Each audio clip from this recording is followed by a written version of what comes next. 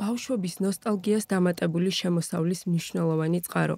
დალივე შაგურიძისთვის აბრეშუმის ჭიის მოვლა ის საქმიანობაა, რომელიც ასარგებლოსთან ერთად სასიამოვნოსაც ითავსებს.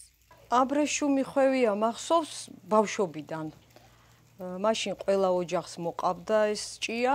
ვუვლიდით ბავშვები, დიდები, მოხუცები, ბებიები, პაპები ყველა ჩართული იყო ამ საქმიანობაში. და ერთი თვის მერე ვაბარებდით პარკს და მახსოვს სოლიდურ თანხას ვიღებდი თამაში და ვაძლევდით მერე თავს რაღაც რაღაცეების უფლება სწავლა იყო თუ დასვენება. აი ესე ესე მახსენდებოდა. სიყვარული, იმიტომ რომ წარსულის ნაწილია ეს სიყვარული და სიყვარულთან ერთად თუ მატერიალურიც იქნება, აი ხლა 2-3 დღის წინ დამიკავშირდნენ ეგონათ მათ რომ ჩვენ ენთუზიაზმზე ყავდა და რომ გაიგეს რომ ამაში ფასს გვიხდიან. უკვე დაინტერესდნენ და წელს თუ 10-ნი ვართ, აი 10 მაინც ვიცი რომ გაისა დაპირებს რომ მოუაროს ჭიას და მიიღოს პარკი და სარგებელი. ბავშვობის ნოსტალგია ყოველდღიურ რეჟიმად ფერმერისთვის შარშანიქცა, როცა მეაბრეშუმე აგრონომ ნუნუ ნახუცრიშვილთან შეხვედრის შემდეგ სახლში, სოფელ ზემო ალვანში 2 გრამი მურით ხელში დაბრუნდა. ერთ დღეს მერიაში მერიიდან დაგვიძახეს, რომ არის შეხვედრა ქალბატონ ნუნუ ნახუცრიშვილთან, რომელიც არის ძველი მეაბრეშუმე და ამ დარგის შესახებ უნდა ვესაუბროს. წავედი რა თქმა უნდა, ეს გამახსენდა ბავშვობა და ისედაც ჩავთვალე თავი ვალდებულად და იქ მოვისმინე რომ ეს დარგი ცდილობენ რომ დაუბრუნდეს სოფელს, მოსახლეობას, რაიონს, ჩვენი რაიონი ცნობილი იყო ამ მეაბრეშუმეობით, წამყვანი რაიონი იყო, ძალიან დიდი მიღწევები.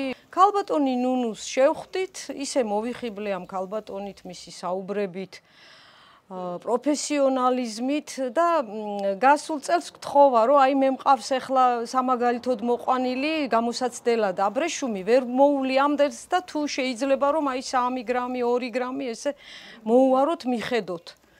კი, რა თქმა უნდა, მე და ჩემი მეგობარი, ახლა პარტნიორი სოფო აბალოიძე ვიყავით ამ ტრენინგზე და მოვედით აბრეშუმის პარკით მურით ხელში.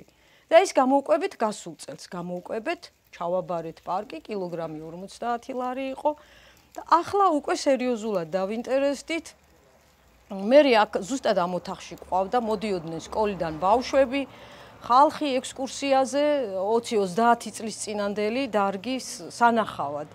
როგორც ფერმერი აღნიშნავს, აბრეშუმის ჭიის მოვლის პროცესი ფაქტობრივად ხარჯს არ მოიცავს. რაც შეეხება ადამიანურ რესურსს, მის მოვლა პატრონობაში მონაწილეობის მიღება ნებისმიერ ადამიანს, მათ შორის ბავშვებსაც შეუძლიათ. რადგან ამისთვის რაიმე სახის სპეციალური ცოდნა საჭირო არაა.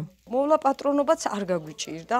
არ გაგვიჭირდა, იმიტომ რომ ორნიულიდით წელს სამნი ვართ. ვასწრებთ სამსახურის მერე, თავისუფლად ვასწრებთ, ბავშვებიც ერთვებიან. ჭიის იმ რაოდენობის გამოსაკვებად, რასაც ოჯახი ამჟამად უვლის, ეზოში შემორჩენილი თუთის ხეები საკმარისია. თუმცა თუ კი მათი რაოდენობა გაიზრდება, საჭირო გახდება თუთის ხეების გაშენებაც.